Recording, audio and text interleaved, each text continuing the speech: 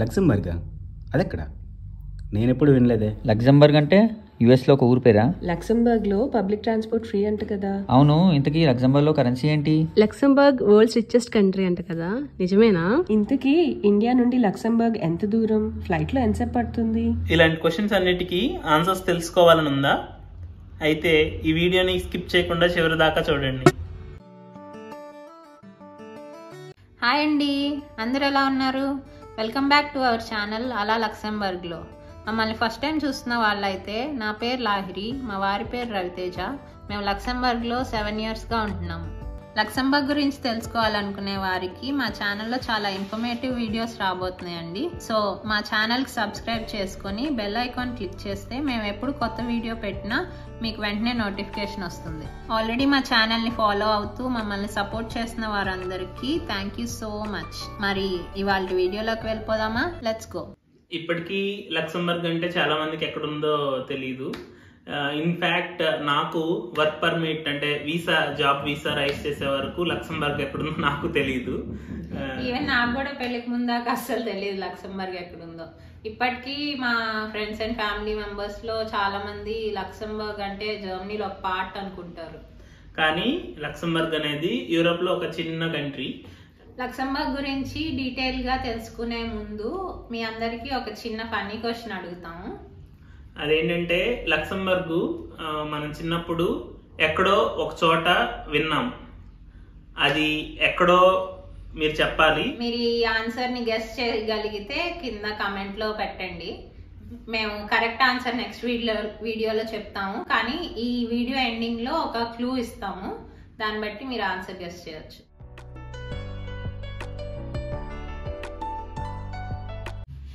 ముందుగా లక్సంబర్గ్ ఎక్కడుందో తెలుసుకుందాం. మ్యాప్లో చూస్తే మన ఇండియా ఇక్కడ ఉంది ఈ హైలైట్ చేసిన రీజన్ అంతా యూరప్. సో యూరప్ కాంటినెంట్లో జర్మనీ ఫ్రాన్స్ బెల్జియం కంట్రీస్కి మధ్యలో ఒక చిన్న ల్యాండ్ లాక్డ్ కంట్రీ ఉంది. అదే Luxembourg. Luxembourg total country area వచ్చేసి two thousand five hundred and eighty six kilometer square. అంటే ఇండియాతో కంపేర్ చేస్తే లక్సంబర్గ్ దేశం మొత్తం మన గుంటూరు జిల్లా అంత ఉంటుంది. లక్సంబర్గ్ కంట్రీ క్యాపిటల్ వచ్చేసి లక్సంబర్గ్ సిటీ అంటారు. అది కంట్రీకి ఈ పొజిషన్లో ఉంటుంది. ఇండియా నుంచి లక్సంబర్గ్ రావాలంటే ఫ్లైట్లో ఫోర్టీన్ అవర్స్ నుంచి ట్వంటీ అవర్స్ వరకు పడుతుంది వెయిటింగ్ టైంని ఇంక్లూడ్ చేసుకుంటే.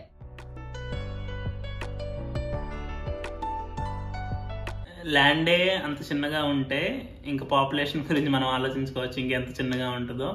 ట్వంటీ ట్వంటీ టూకి లక్సంబర్గ్ జనాభా ఆరు లక్షల ముప్పై వేలు. ఇదే మనం గుంటూరు డిస్టిక్ట్ జనాభాతో పోలిస్తే గుంటూరు డిస్టిక్ జనాభా ఫార్టీ ఎయిట్ ల్యాక్స్ నలభై ఎనిమిది లక్షలు. సో అంటే గుంటూరు జిల్లా జనాభాలో ఎనిమిదో వంతు లక్సంబర్గ్ జనాభా. అండ్ ఇంకా ఇక్కడ మన ఇండియన్ ఇండియన్ పాపులేషన్కి వచ్చేస్తే అప్రాక్సిమేట్గా four thousand to five thousand మధ్యలో ఉన్నారు ట్వంటీ ట్వంటీ టూ లెక్కల ప్రకారం. అండ్ um, మన తెలుగు వాళ్ళు వచ్చేసేసి ఒక hundred to one fifty families వరకు ఉంటాయి. So it will be maybe four hundred five hundred వరకు తెలుగు వాళ్ళు ఉంటారు.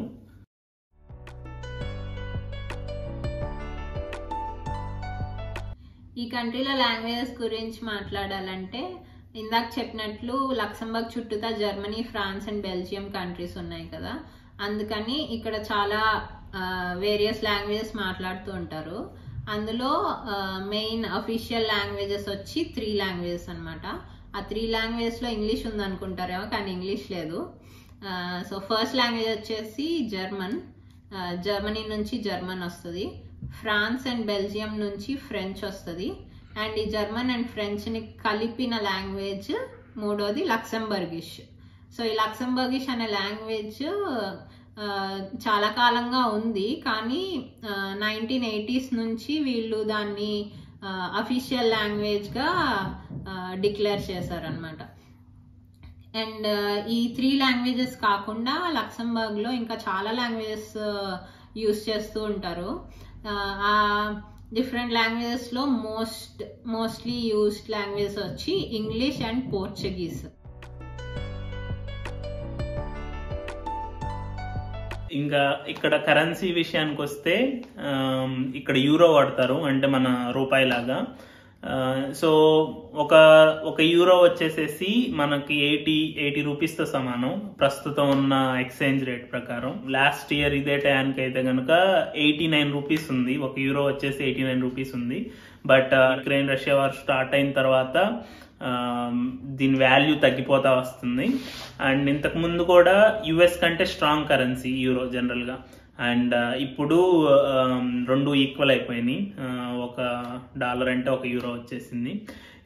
ఫ్యాక్ట్ ఏంటంటే Luxembourg even twenty twenty one లెక్కల ప్రకారం కూడా పర్ క్యాపిటా జీడిపి ప్రకారం చూస్తే Luxembourg is the first richest country in the world అనమాట ఇది ఎలా కలుస్తారంటే మన యావరేజ్ పర్ పర్సన్ ఎంత సంపాదిస్తున్నాడు కంట్రీలో ఉండే పాపులేషన్లో అనే దాని మీద దీన్ని తీస్తారు.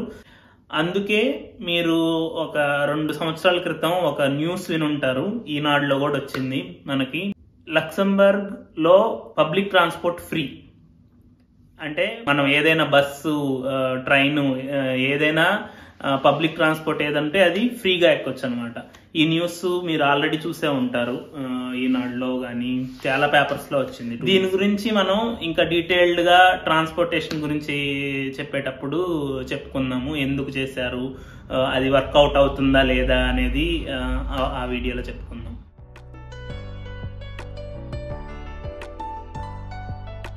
డిఫరెన్స్కి వస్తే లక్సంబర్గ్ టైం ఇండియా కన్నా వెనకే ఉంటుంది. ఏప్రిల్ నుంచి అక్టోబర్ దాకా లక్సంబర్గ్కి ఇండియాకి టైం డిఫరెన్స్ వచ్చి త్రీ అండ్ హాఫ్ అవర్స్ అనమాట ఎగ్జాంపుల్ ఇండియాలో మధ్యాహ్నం త్రీ థర్టీ అయితే గనక లక్సంబర్గ్లో అదే రోజు మధ్యాహ్నం ట్వెల్వ్ ఓ క్లాక్ అవుతుంది అండ్ నవంబర్ టు మార్చ్ మంత్స్లో time difference four and half hours ఉంటుంది. అంటే ఇండియాలో ఫోర్ థర్టీ అయితే అప్పుడు లక్సంబర్గ్లో మధ్యాహ్నం ట్వెల్వ్ ఓ క్లాక్ అవుతుంది. ఈ టైం డిఫరెన్సెస్ ఎందుకు ఇలా మారుతున్నాయి అంటే డే లైట్ సేవింగ్ వల్ల. సో డే లైట్ సేవింగ్ అంటే ఏం లేదు. అది సన్లైట్ని ఎక్కువగా యూటిలైజ్ చేసుకోవడానికి సమ్మర్లో ఒక వన్ అవర్ని జరుపుతారు. అందుకని ఇలా టూ డిఫరెంట్ టైమింగ్స్ వస్తున్నాయి అనమాట దీని గురించి ఇంకా డీటెయిల్గా ఫ్యూచర్లో ఎప్పుడన్నా వీడియో చేద్దాం. ఇంకో ఇంకో విషయం చెప్పాలంటే ఆ, లక్సంబర్గ్లో ఇంకా రాచరికం ఉంది. బట్ వాళ్ళని రాజు రాణి అని పిలవరు.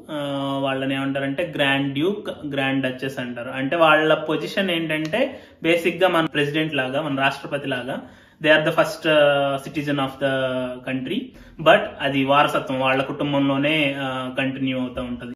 సో ఇప్పుడు దాకా చాలా విషయాలు తెలుసుకున్నాం కదా లక్సంబర్గ్ గురించి. సో మరి మరి నెక్స్ట్ వీడియోలో కలుద్దామా? ఈ వీడియో క్లోజ్ చేసే ముందు ఇందాక వీడియో స్టార్టింగ్లో ఒక క్వశ్చన్ అడిగావు కదా దానికి క్లూ ఇస్తాను. ఒక క్వశ్చన్ ఒకసారి చెప్తాను. ఏంటంటే లక్సంబర్గ్ అనే వర్డ్ని మనం ఒకనొక టైంలో వినే ఉంటాం. అది ఎక్కడ విన్నాం అనేది క్వశ్చన్ సో క్లూ వచ్చేసి అది ఎక్కడ విన్నామంటే ఒక two thousand three two thousand four ఆ టైంలో ఒక తెలుగు సాంగ్లో వస్తుంది ఆ వర్డ్ అది ఏం సాంగ్ మీకు మీరు గెస్ట్ చేయగలిగితే కింద కమెంట్లో చెప్పండి. మేము దాని ఆన్సర్ నెక్స్ట్ వీడియోలో ఇస్తాం. సో అప్పుడు దాకా సరే మరి వెళ్ళొస్తాం. నెక్స్ట్ వీడియోలో మళ్ళీ కలుద్దాం. అంతవరకు bye.